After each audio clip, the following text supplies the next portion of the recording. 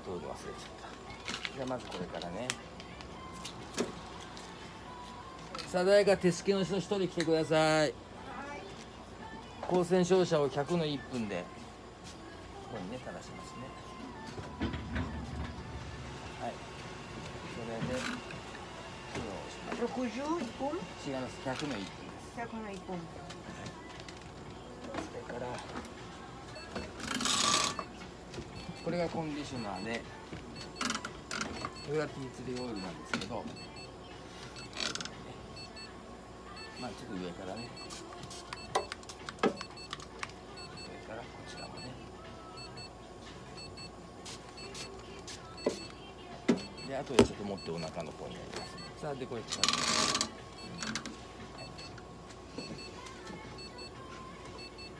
それとあとねご飯ねあの虫類はねなしでもいいです、うん、でなんだっけななんとかなんなんなんミルワームじゃないんだよね。な何乾燥したやつですよね。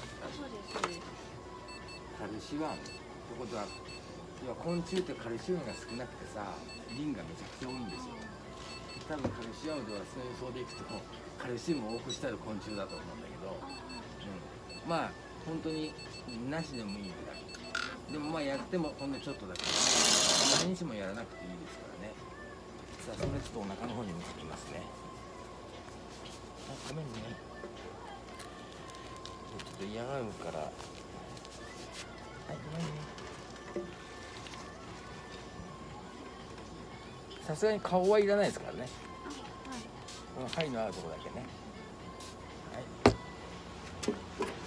はい。じゃあもう一分あそこにいて。はい、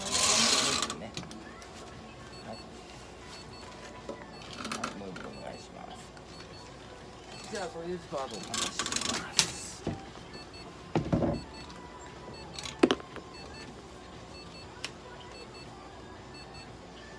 ューションをつけて分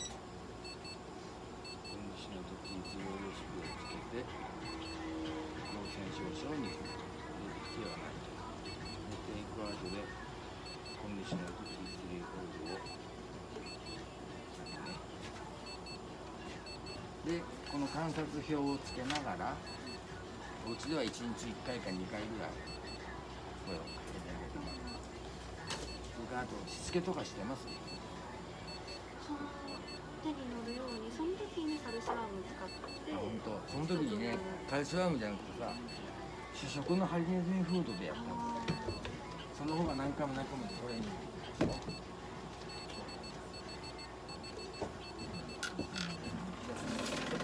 話をしますね。これ結構大事